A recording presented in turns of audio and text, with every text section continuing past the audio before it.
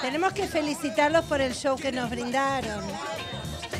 Saludarlos. Vamos a saludarlos. Permiso. No se me hagan las tímidas. Cambiando. Necesito que me ayuden con el cierre del pantalón que no lo puedo Acá están Está como trabado. Es, es una causa humanitaria, ¿verdad?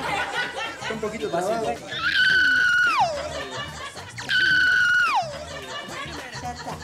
Dime la peor mina que se zarpó así. Sé que a Juanjo le pasó que una vez le colgaron y lo tiraron para abajo. Bueno, iba entre las chicas y, y una me agarró y me tiró muy fuerte hacia abajo.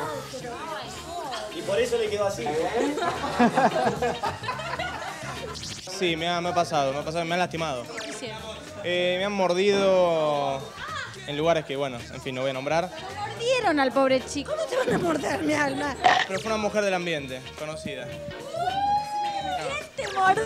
Contanos ya. No, no, lo digo, va presa. ¿Conocen a una chica que hace una propaganda de celular?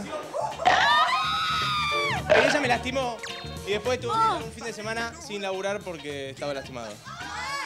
¡Qué bruta, Claudia! ¡Se seco! ¿Vos no viniste acá hace un año y pico atrás? Una despedida soltera. me estoy acordando. Ahora me estoy acordando.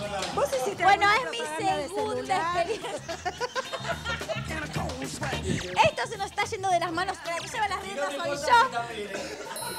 Y no te cortaste también. Esa vez no se cortó también, ¿eh? Aucho, deja de grabar. Ya, hasta acá llegamos.